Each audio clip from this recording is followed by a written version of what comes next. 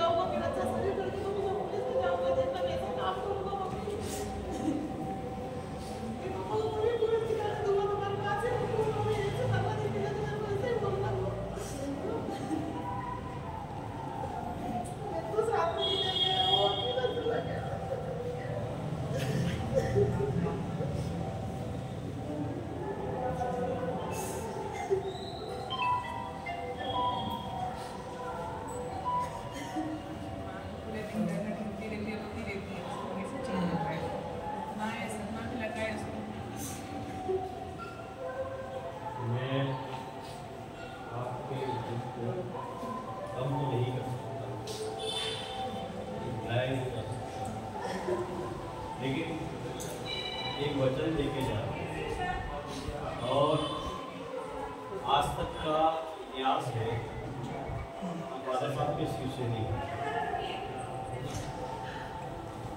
हमें कोई वोट तो चाहिए नहीं, और हमारी कोई वोट बेटी की राष्ट्रीय होती है।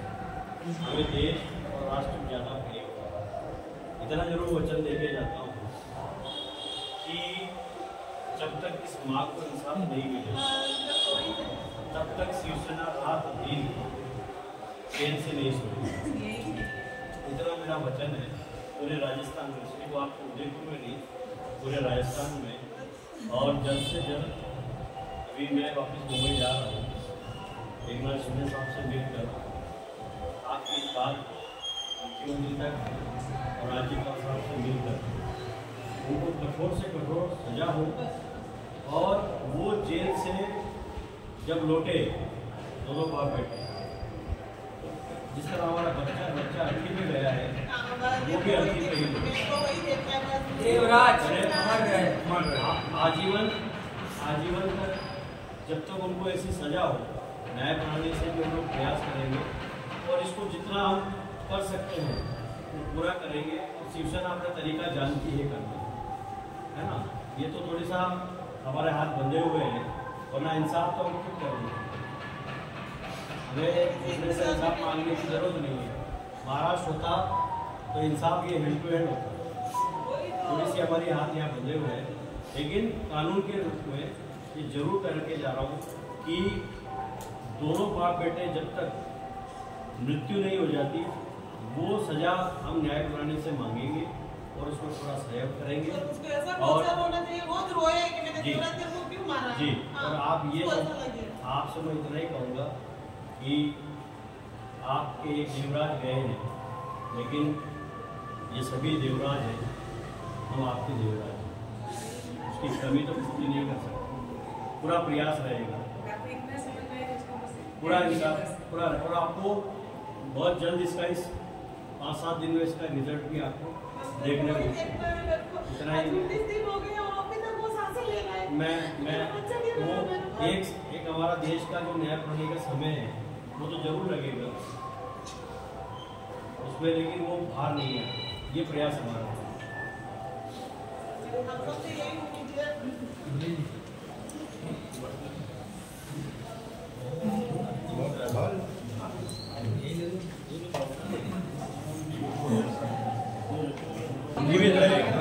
पीछे जा रहे हैं मुझे डर तो बहुत छोटी सजा है वो जब तक जीवित रहेगा लक्ष्मण वो लक्ष्मण लक्ष्मण। जी।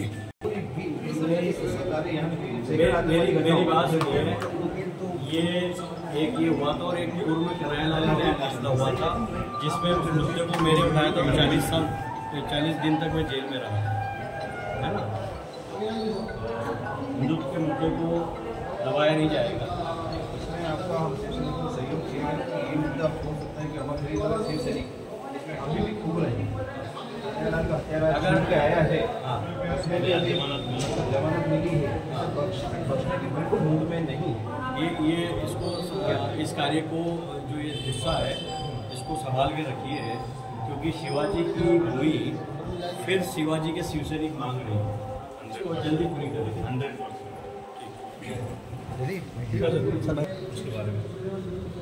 यहाँ आने के बाद, क्योंकि मैं भी एक पिता का पुत्र हूँ, मुझे पता है एक पुत्र, वो भी उस अवस्था में, जब उसे यही ज्ञात नहीं हो कि अच्छा क्या है और बुरा क्या है, उसे तो अपनी माँ के आंचल से ही जो बाहर नहीं निकला हो।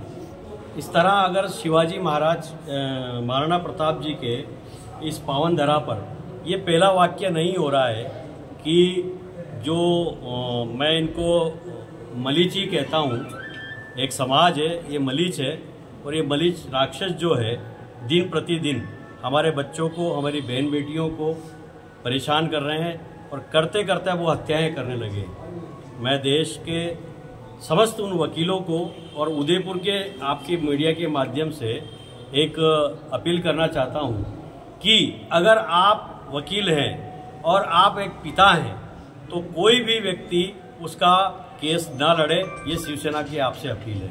उसे सिर्फ़ और सिर्फ़ आजीवन कारावास हो और दोनों पिता पुत्र वहाँ पर मृत्युशैया से ही बाहर आए। सर कहीं ना कहीं जैसे अपराधी है वो नाबालिग है। तो उसके ऊपर क्या कानून लगाए जाए आप उसको क्या सरकार से डिमांड करेंगे इस चीज़ के कहाँ का नाबालिग है? अगर उसको ये ज्ञात है कि चाकू से आदमी मारा जाता है। वो कहाँ का नाबालिग है? वो कोई नाबालिग आज कन्यालाल के हत्यारों को जमानत मिली है। देश में कहीं न कहीं न्याय प्रणाली कमज़ोर है। कमज़ोर है और कमज़ोर नहीं है। मेरे ख्याल से वो विवश है वो मजबूर है। और इतनी मजबूर न्याय प्रणाली अगर होती है कि सरेआम उसको उसका गला रेता गया उनका उनको मारा गया उसका वीडियो अपलोड करके उन हत्यारों ने डाला उसके बावजूद अगर उनको जमानत मिल जाती है तो मैं ऐसी न्याय प्रणाली से बड़ा मुझे दुख है और मैं यही कहना चाहता हूँ कि पट्टी तो आपने बाँध ही रखी थी। अब तो शायद आपने आत्मा भी बाँध ली। सर एक सवाल जैसे कि यश प्रतिज्ञा ली थी वो प्रतिज्ञा प्रतिज्ञा जो उन्होंने ली है तो मैं ईश्वर से प्रार्थना करता हूँ और शिवसेना पूरा सहयोग करेगी कि जल्द से जल्द वो चप्पल पहने और मैं अपने हाथों से उन्हें चप्पल पहनाऊँ और उन्हें न्याय मिले और वो अपने बाल मुंडन कराएँ।